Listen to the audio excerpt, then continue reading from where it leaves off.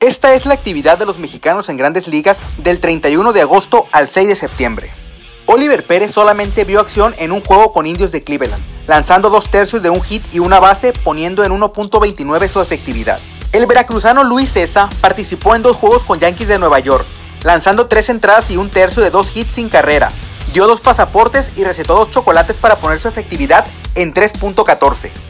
El sinaloense Julio César Urias tuvo un par de salidas con Dodgers de Los Ángeles y logró su tercera victoria de la campaña, trabajando un total de 10 episodios y un tercio de 9 hits y 5 carreras. Dio dos pasaportes y ponchó a 11 para poner su efectividad en 3.86.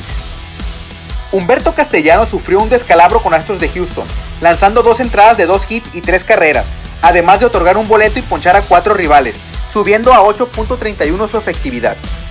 Alex Verdugo se mantiene como titular con Medias Rojas de Boston y esta semana pegó 12 imparables en 31 turnos al bat, anotando 6 carreras y remolcando una más, además de recibir dos bases por bolas, poniendo en punto 313 su porcentaje de bateo. Isaac Paredes tuvo una semana difícil con Tigres de Detroit y no pudo conectar de imparable en 12 turnos, bajando a punto 186 su porcentaje de bateo.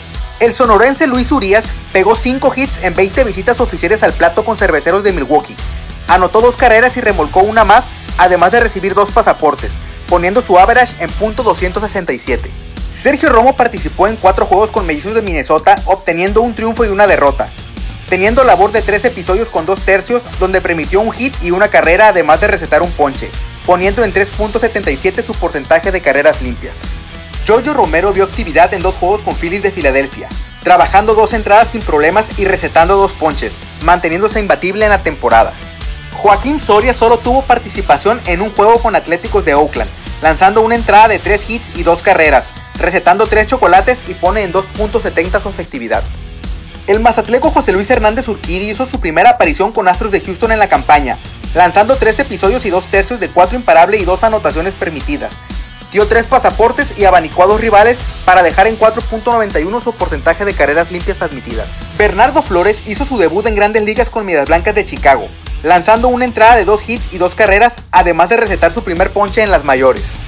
Giovanni Gallegos logró dos salvamentos y sufrió un descalabro con Cardenales de San Luis, teniendo labor de dos entradas, dos tercios de un hit y una carrera.